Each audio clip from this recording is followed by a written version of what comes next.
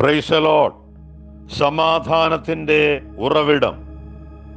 നാം എല്ലാവരും സന്തോഷമായിരിക്കാൻ ആഗ്രഹിക്കുന്നു. ഭൗതിക വസ്തുക്കളുടെ സമൃദ്ധിയിലാണ് സന്തോഷമുണ്ടാകുന്നതെന്നാണ് അനേകരും ചിന്തിക്കുന്നത്. ധനവും സൗകര്യങ്ങളും കൊണ്ട് സന്തോഷം നേടാമെന്ന് അവർ വിചാരിക്കുന്നു. കുറച്ചു കാലം മുൻപ് അമേരിക്കയിലെ രണ്ട് കോടീശ്വരന്മാർ മരിച്ചു.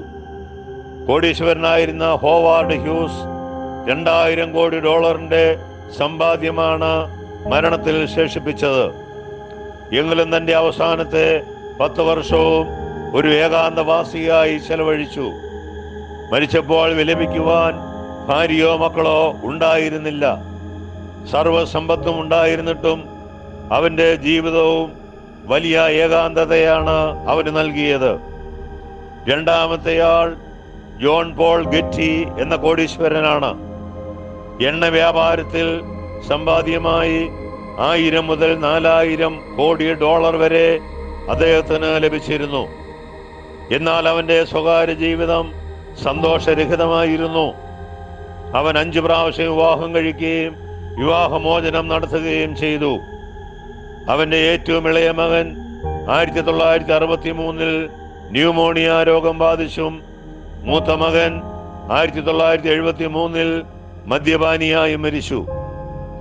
ഭൗതിക സമ്പത്തുകൾ സന്തോഷം നൽകിയിരുന്നുവെങ്കിൽ ഈ രണ്ട് കോടീശ്വരന്മാരും ലോകത്തിൽ ഏറ്റവും അധികം സന്തോഷമുള്ളവരാകുമായിരുന്നു. എന്നാൽ ഭൗതിക വസ്തുക്കളെക്കാൾ കൂടുതൽ ഉറച്ചതും നിലനിൽക്കുന്നതുമായ ഒരടിസ്ഥാനത്തിലാണ് സന്തോഷം സ്ഥിതി ചെയ്യുന്നത്. അതില്ലെങ്കിൽ നമ്മുടെ ജീവിതം അസ്ഥിരവും അതൃപ്തികരവും അർത്ഥരഹിതവും ശൂന്യവുമായിരിക്കും. അസ്വസ്ഥതയും അസന്തുഷ്ടിയും നിറഞ്ഞതുമായിരിക്കും. വിശുദ്ധ അഗസ്തീനോസ് ഒരിക്കൽ ഇങ്ങനെ എഴുതി ദൈവമേ അങ്ങ് ഞങ്ങളെ അങ്ങേക്കായി സൃഷ്ടിച്ചിരിക്കുന്നു. അങ്ങയിൽ ഞങ്ങളുടെ വിശ്രമം കണ്ടെത്തും വരെ ഞങ്ങളുടെ ആത്മാക്കൾ അസ്വസ്ഥമായിരിക്കും. ജഡത്തിൽ വെളിപ്പെട്ട ദൈവമായ യേശു ക്രിസ്തു സ്വർഗത്തിൽ നിന്നും ഇറങ്ങി മനുഷ്യരുടെ ഇടയിൽ പാർത്തു. നമ്മുടെ ശൂന്യതയിൽ നിന്നും അസ്വസ്ഥമായ ലക്ഷ്യമില്ലായ്മയിൽ നിന്നും നമ്മെ രക്ഷിക്കുവാൻ യേശു ക്രൂശിൽ മരിച്ചു. അവൻ കല്ലറയിൽ നിന്നും ഉയർത്തെഴുന്നേറ്റു. നിത്യതയിൽ നമ്മുടെ ലക്ഷ്യത്തിന് അടിസ്ഥാനമിടുവാൻ അവൻ സ്വർഗത്തിലേക്ക് മടങ്ങിപ്പോയി. ക്രിസ്തുവിലുള്ള സ്വാതന്ത്ര്യം പ്രാപിച്ചാൽ മാത്രമേ നമുക്ക് സന്തോഷമായിരിക്കുവാൻ കഴിയുകയുള്ളൂ. ലോക പ്രശസ്ത സുവിശേഷകനായിരുന്ന ഡി എൽ മൂഡിയോട് ഒരിക്കൽ ഒരാൾ ചോദിച്ചു പരിശുദ്ധാത്മാവിനാൽ നിറയണമെന്ന് താങ്കൾ എല്ലാ പ്രസംഗങ്ങളിലും ആവർത്തിച്ച് ആവർത്തിച്ച് പറയുവാനുള്ള കാരണം എന്താണ്? മൂടി അതിന് ഉത്തരമായി ഇപ്രകാരം പറഞ്ഞു ഞാൻ ചോർച്ചയുള്ള ഒരു മനുഷ്യനായതിനാൽ ഞാൻ ബലഹീനനും ചോർച്ചയുള്ളവനുമായ ഒരു നേതാവാണ് എന്ന കാര്യം മറ്റാരേക്കാളും നന്നായി തിരിച്ചറിയുന്നു. ആ ചോർച്ച ഇല്ലാതാക്കണമെങ്കിൽ തുടർച്ചയായി പരിശുദ്ധാത്മാവ് എന്നിൽ നിറഞ്ഞുകൊണ്ടിരിക്കണം. വാശുമാന്നി എന്ന പ്രശസ്ത ദൈവശാസ്ത്രജ്ഞൻ അതേക്കുറിച്ച് പറഞ്ഞിരിക്കുന്നത് ഇപ്രകാരമാണ്. പരിശുദ്ധാത്മാവിനാൽ നിറയുക എന്നത് സാധാരണ ക്രിസ്തീയ ജീവിതത്തിന്റെ അനുഭവമാണ്. നിങ്ങൾ ദിവസം തോറും ദൈവാത്മാവിൽ നടക്കുവാൻ ശീലിക്കുമ്പോൾ കൂടുതൽ പഠിക്കുവാൻ കഴിവുള്ളവരായി തീരുകയും പുതിയ നിയമ പാഠങ്ങൾ മനസ്സിലാക്കുവാൻ സാധിക്കുകയും ചെയ്യും. എല്ലാ വിശ്വാസികൾക്കും ദൈവോചനം മനസ്സിലാക്കാൻ മനസ്സിലാക്കി കൊടുക്കുന്ന ഉത്തമ സഹായിയാണ് ദൈവത്തിന്റെ പരിശുദ്ധാത്മാവ്. പരിശുദ്ധാത്മാവാണ് ഒരു വിശ്വാസിയെ അനുതാപത്തിലേക്ക് നയിക്കുവാൻ സഹായിക്കുന്നത്. പാപബോധമുണ്ടാകുക എന്നത് വിജയകരമായ ക്രിസ്തീയ ജീവിതത്തിന്റെ അത്യന്താപേക്ഷിതമായ ഒരു ഭാഗമാണ്.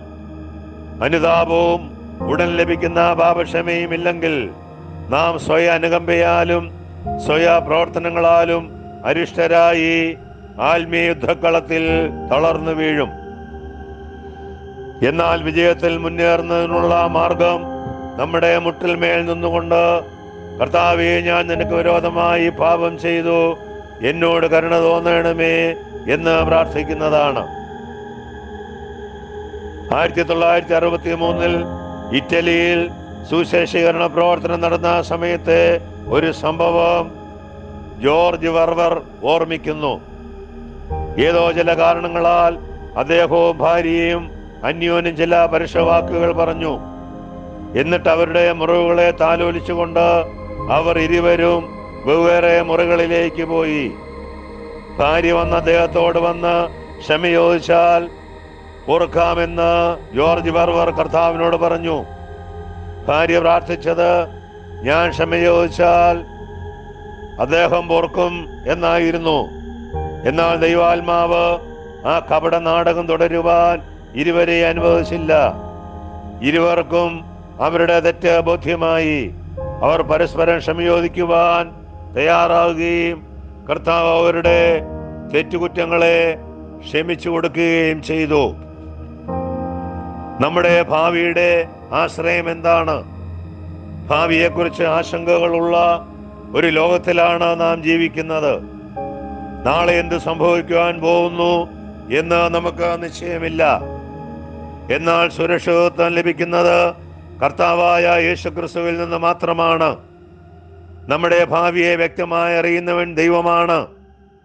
ഒന്നാം നൂറ്റാണ്ടിൽ ഡൊമീഷ്യൻ ചക്രവർത്തിയുടെ പീഡനങ്ങളെ അതിജീവിക്കുവാൻ വെളിപ്പാട് പുസ്തകത്തിന്റെ രചയിതാവ് യോഹന്നാന് കഴിഞ്ഞത്.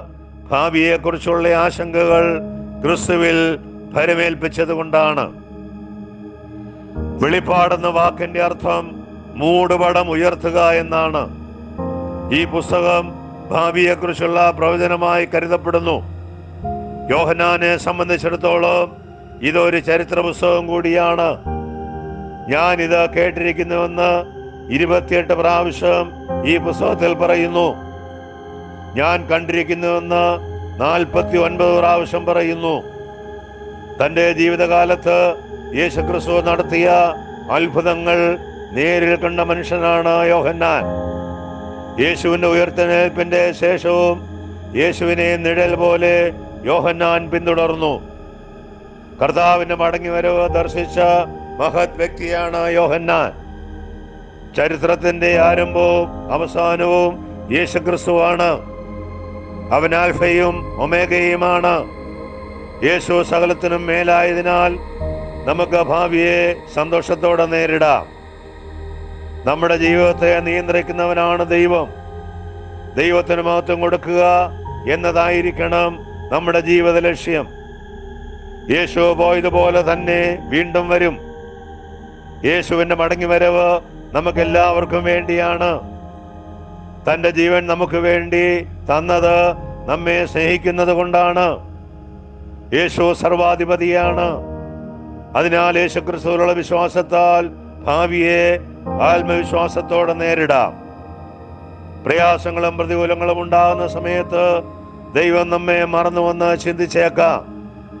പീഡനങ്ങളും വേദനകളും സമചിത്തതയോടെ സ്വീകരിക്കുവാൻ യോഹനാനെ സഹായിച്ചത് ക്രിസ്തു മടങ്ങി വരുമെന്നുള്ള പ്രത്യാശയാണ്. ഏകാന്തതയുടെ പത്മോസ് ദ്വീപുകൾ നമ്മുടെ ജീവിതത്തിലും ഉണ്ടായിന്ന് വരാം. അതിനെ തരണം ചെയ്യണമെങ്കിൽ അചഞ്ചലമായ ക്രിസ്തുവിശ്വാസം നമുക്കുണ്ടായിരിക്കണം. യേശു ക്രിസ്തു മരണത്തെ തോൽപ്പിച്ചവനാണ്. യേശു ക്രിസ്തുവിൽ നാം ആശ്രയം കണ്ടെത്തണം. നാം ദൈവസന്നിധിയിൽ നിശബ്ദരായി അവന്റെ പാതപിടുത്തങ്ങൾ നമ്മെ തന്നെ സമർപ്പിക്കുകയാണ് വേണ്ടത്. ഗംഗാ നദീ തീരത്ത് ധ്യാനത്തിൽ ഇരുന്ന ഒരു സന്യാസിയെ കണ്ട് തനിക്ക് എപ്രകാരം ദൈവത്തെ കണ്ടെത്താം? എന്ന് ഒരാൾ ചോദിക്കുകയുണ്ടായി. സന്യാസിയാളെ ശ്വാസം മുട്ടുവോളം? വെള്ളത്തിൽ മുക്കിപ്പിടിച്ചുകൊണ്ടിരുന്നു കഷ്ടിച്ച് ശ്വാസം വലിച്ചുകൊണ്ട് ആ ചെറുപ്പക്കാരൻ ചോദിച്ചു നിങ്ങൾ എന്താണ് ഇങ്ങനെ ചെയ്തത്? അതിന് സന്യാസി പറഞ്ഞ മറുപടി ഇങ്ങനെയായിരുന്നു.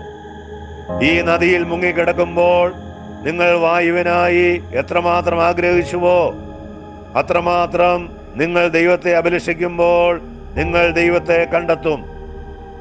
ഏതൻ തോട്ടത്തിൽ വെച്ച് മനുഷ്യൻ ദൈവമായുള്ള കൂട്ടായ്മ നഷ്ടപ്പെടുത്തിയപ്പോൾ മുതൽ ആ പർദീസ തിരികെ കിട്ടുവാനായി മനുഷ്യൻ നിരാശാജനകനായി പരിശ്രമിക്കുകയാണ്. ആദിയിൽ ദൈവം എന്ന മഹത്തരമായ വാക്കുകളോടെയാണ് വിശുദ്ധ വേദപുസ്തകം ആരംഭിച്ചിരിക്കുന്നത്. മനുഷ്യവർഗത്തിന്റെ എല്ലാ നിലനിൽപ്പിന്റെ അടിസ്ഥാനം ഈ രണ്ട് വാക്കുകളാണ്. ദൈവത്തെ കൂടാതെ ഒരു തുടക്കവും പുരോഗമനവുമില്ല. നിർമ്മാണ ശക്തിയാണ് ദൈവം. അവിടുത്തെ മഹത്തായ ശക്തിയാൽ ദൈവം രൂപമില്ലാത്തടത്ത് നിന്ന് രൂപവും ക്രമമില്ലാത്തടത്ത് നിന്ന് ക്രമീകരണവും ഇരുട്ടിൽ നിന്ന് വെളിച്ചവും രൂപീകരിച്ചു. ആൽഫ്രഡ് നോയിസ് പറയുന്നത് പോലെ ഈ അഖിലാണ്ടം ഭൂമിയെയോ സൂര്യനെയോ ആശ്രയിച്ചല്ല ദൈവത്തെ മാത്രം ആശ്രയിച്ചാണ് സ്ഥിതി ചെയ്യുന്നത്. ദൈവത്തെ സ്വന്തം ബുദ്ധിശക്തിയാൽ ഒതുക്കുവാൻ നാം പരിശ്രമിക്കുന്നുവെങ്കിൽ തീർച്ചയായും പരാജയപ്പെടും. ദൈവത്തെ പറ്റി അനേക കടങ്കഥകൾ ഈ ലോകത്തിലുണ്ട്. ചെറുതും സമയകാലങ്ങളിൽ ഒതുങ്ങുന്നതുമായ ഒന്നിന് അനന്തമായ ദൈവത്തെ എങ്ങനെ മനസ്സിലാക്കുവാൻ കഴിയും? ദൈവത്തെ നമ്മുടെ ബുദ്ധിശക്തി കൊണ്ട് മനസ്സിലാക്കുവാൻ കഴിയാത്തത് അത്ഭുതകരമായി നാം കരുതരുത്. ഈ ഭൗതികതയിൽ ഒതുങ്ങി നിന്നുകൊണ്ട് ദൈവത്തിന്റെ പല അപദാനങ്ങളും മനസ്സിലാക്കുവാൻ നമുക്ക് സാധിക്കുകയില്ല. ദൈവത്തെയും നമ്മെയും തമ്മിൽ ബന്ധിപ്പിക്കുന്ന ഒരു വെളിപ്പാടിലൂടെ മാത്രമേ ഒരു പുതിയ ദർശനവും ജീവിതവും നമുക്ക് കണ്ടെത്തുവാൻ കഴിയുകയുള്ളൂ എന്ന കാര്യം നാം ഒരു നാളും വിസ്മരിക്കരുത്. ക്രിസ്തുവിൽ നിങ്ങളുടെ എളിയ സഹോദരൻ ജോർജ് മാത്യു പുതുപ്പള്ളി.